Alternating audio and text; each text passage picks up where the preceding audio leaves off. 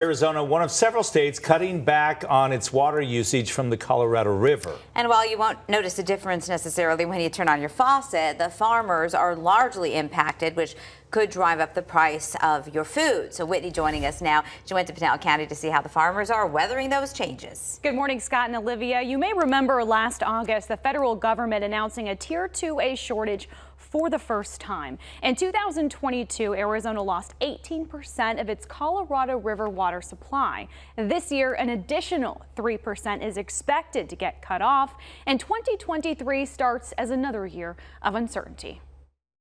Thousands of acres of alfalfa, Bermuda grass, and more spread across Arizona.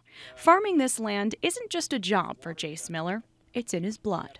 My great great grandfather came and homesteaded in Gilbert in 1919 and began farming.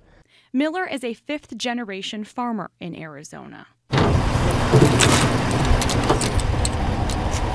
Managing the farmland is a 24 hour operation, truly in unprecedented times.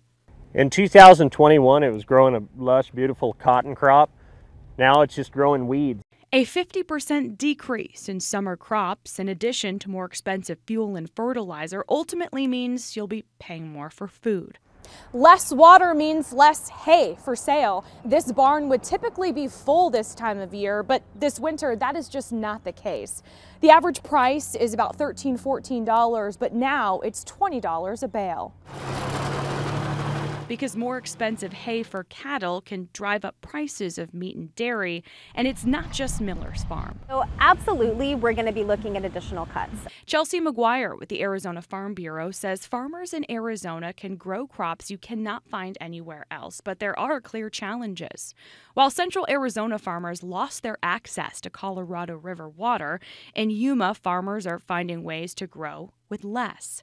As a new legislative session begins, McGuire says her biggest focus is education, explaining what the agriculture industry does with water as there's a renewed interest in water policy among state lawmakers. You know, it's really easy to look at the statistics of the state and say, wow, agriculture uses more than 70% of our water. Isn't that where we should be looking to cut our water use?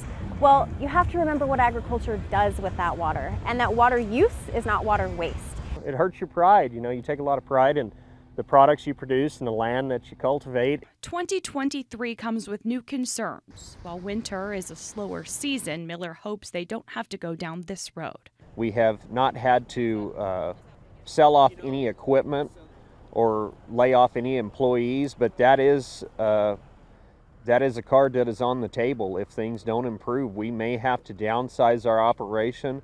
Water crisis aside, this is a job Miller looks forward to every single day. You know, I guess the best description would be it's pure bliss. I mean, it's to me it's not a job, it's it's it's not even a career, it's a lifestyle. A lifestyle that runs in the family. So what exactly can we expect this year? A water policy expert who I regularly talk to at ASU tells me we likely won't see news about additional cuts for a few months. She tells me the Bureau of Reclamation is looking at a special environmental impact assessment. That won't be done until March, but certainly it's something farmers, everyone in Arizona, and of course the other states that share this water will be keeping in mind. Really important perspective. It sure is. Thanks, Whitney. Thank you, Whitney.